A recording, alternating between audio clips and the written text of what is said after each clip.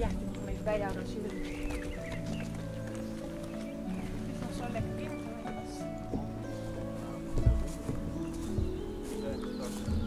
MP3-speler mee.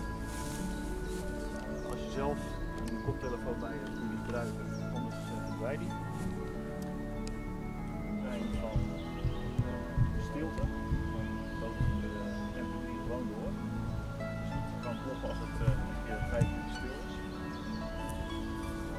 Zet hem ook niet te hard, dan hoor je ook de, de boven.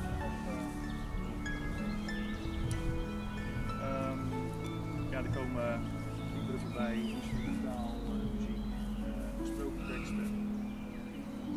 Nou, laat je lekker verrassen. Laat je verwonderen.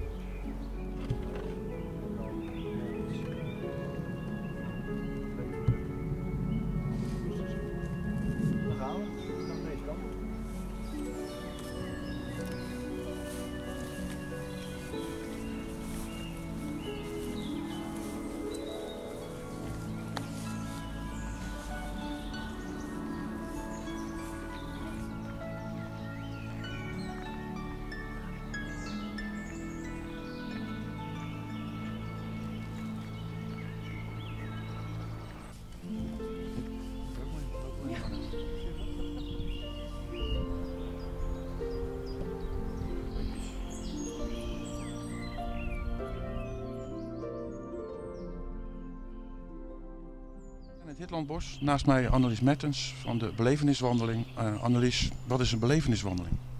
Een beleveniswandeling is een wandeling waarbij je verrast wordt, waar je uh, mag genieten van uh, stilte, mooie teksten. En wij zoeken ook echt ja, de ontmoeting met God, met de natuur en met elkaar. Dan draai je toch geen muziek onderweg? Dan word je toch gehinderd? Waar ligt nou de nadruk op?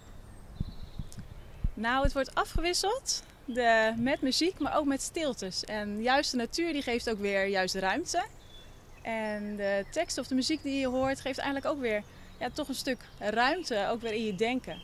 En ja, daardoor kan je ook weer op mooie ideeën komen of tot rust komen. Dus ja, muziek dit, dat geeft ook toch een stuk rust. Als je uh, nu aan het wandelen bent, uh, ben je dan niet afgeleid? Nee, omdat je juist uh, ben je wel gefocust op, op de muziek. En de natuur die geeft ook gewoon een stuk rust. Dus je kan ook gewoon genieten uh, tijdens het muziek of het gedicht of uh, de teksten die je hoort. hoor je toch ook nog wel de vogels op de achtergrond. En nee, dat is uh, één geheel. Oké, okay. en jullie werken met thema's. Wat is het thema van vanavond? Het thema van vanavond is verwondering. Dus verwondering van de natuur, van wie God is, van wie je zelf mag zijn. Dus echt ja, één gewoon met, met de natuur zijn. En, ja, dat je mag verwonderd worden door, uh, ja, ook door God en door uh, zijn aanwezigheid. Is dat vanavond de eerste keer? Hoeveel mensen zijn er nu onderweg? Er zijn nu uh, zeven mensen onderweg. En ja, het is nog een kleine groep. Maar ja, we zijn heel benieuwd hoe ze het zullen ervaren. gaat dit vaker plaatsvinden? Ja, er staan verschillende datums al gepland. in verschillende gebieden ook. Hier in het Hitland bos, maar ook uh, in Bentwoud, uh, bij Zoetermeer, maar ook Rokanje, dus meer bij het uh, strandgebied. Dus echt verschillende thema's en verschillende locaties hebben. Ja. Dankjewel.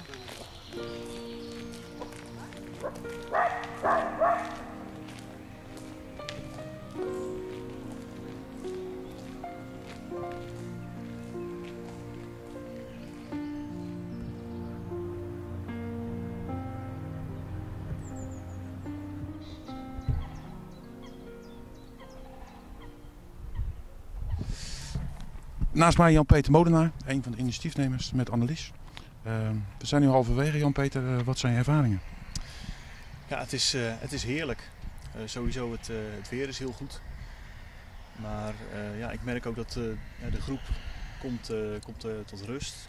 neemt ook de tijd om rond te kijken. Ehm, net was er in de opname een moment om te bidden.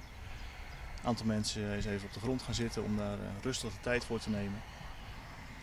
En eh, ja, ik geniet er zelf ook van. Ik hoor mezelf, ik heb deze opname ingesproken, ik hoor mezelf praten, maar ondanks dat eh, ja, is het heerlijk om, om te genieten, om, om bij God te zijn, om te genieten van een gedicht, van instrumentale muziek, eh, gesproken woord. Dus ik, ik geniet ervan.